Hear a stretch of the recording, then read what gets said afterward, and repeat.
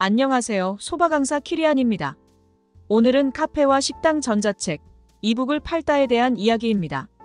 전통적으로 종이를 이용해 만들어진 책을 읽으며 자라온 세대와 단말기만 있으면 어디서든 책을 볼 수 있는 전자책, 이북을 선호하는 세대가 공존하는 요즘입니다. 책을 사려면 우선 움직여야 했습니다. 서점에 가기 위해서인데요. 고른 책을 읽어보고 살지 말지. 결정도 내리고 앉아서 다른 책을 구경하는 재미도 있었죠.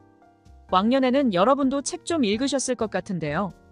저도 동대문이나 강남 고속버스 터미널의 서점들을 좋아해서 놀러 다니곤 했습니다.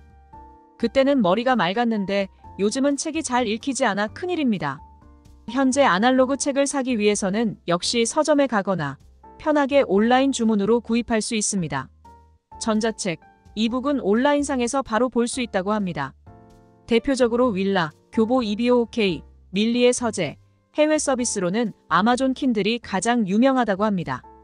현재의 카페나 식당은 이북과 마찬가지로 온라인으로도 만나볼 수 있습니다.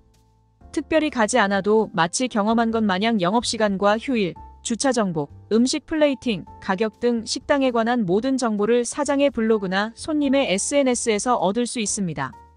앞선 포스팅에서도 블로그를 하지 않으면 큰일 날 것이라고 말씀드렸는데요. 사람들의 생활 방식이 전통 종이책에서 전자책, 이북으로 넘어가듯 패러다임의 변화에 속도를 맞추지 못하는 곳도 생길 것입니다. 가령 종이책만 팔고 있는 곳과 전자책 이북도 같이 파는 곳이 있다면 두 곳의 매출은 어떻게 될까요? 더욱 차이가 나는 점은 모두 잠든 시간 차이가 크게 벌어질 수 있는데요. 이북은 언제나 읽힐 수 있고 온라인으로는 책을 팔며 부가가치를 올린 수 있다는 것이죠. 이러한 영향 때문인지 몰라도 낮과 밤을 망라하고 쏟아지는 정보로 인해 먹을 것을 찾아 온라인을 찾아 헤매는 현대인들은 선택의 곤란함을 느끼게 되었습니다. 과잉 정보로 인한 피로감이 최고조라고 말씀드릴 수 있는데요. 그럼에도 불구하고 먹거리에 대한 옥석을 가리는 일은 멈추지 않을 것 같습니다. 카페나 식당을 방문한 손님이 최고로 행복한 순간을 경험할 수 있다면 사람들은 검색을 멈추고 움직일 것입니다. 그렇기 위해선 첫 번째로 진정성 있는 정보로 보이는 것이 중요하다고 합니다. 엄청나게 좋은 음식이라고 광고해도 사회적으로 큰 이슈식이나 사실을 증명하는 정확한 증거 없이는 사람들의 구매 욕구를 불러내기 힘들 것입니다. 몸에 참 좋은데 말이죠. 우선은 꾸준함만으로도 증거를 만들어낼 수 있습니다. 작은 가게를 오픈하기 위해 건강 친화적인 페인트를 사용했다든지 좋은 식재료를 사입하는 과정, 식당의 위생 상태를 유지하는 노력 등을 SNS나 블로그에 증거로 채워갈 수 있습니다. 사람들은 눈이 휘둥그레지는 퀄리티의 동영상과 전문 회사의 광고 카피에 매시간 노출되고 있습니다. 개인 카페나 식당은 애초에 상대가 될 수 없습니다.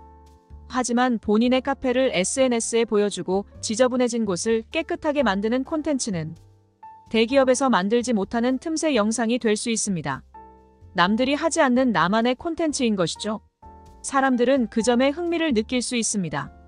매일 창문을 청소하는데 스퀴지, 휴지, 신문지 등으로 바꿔 닦는 콘텐츠를 시작으로 가위를 구입하고 전에 사용했던 제품의 성능과 가격을 비교해 줄 수도 있을 것입니다. 다른 주제로 글을 쓰다 여기까지 왔는데요. 막연히 경쟁자와 싸워야 된다고 생각하지 말고 작은 지역으로 우회하여 그곳에서 1등을 해보는 것부터 시작하면 좋을 것 같습니다. 오늘은 여기까지입니다. 소바 강사 키리안이었습니다. 감사합니다.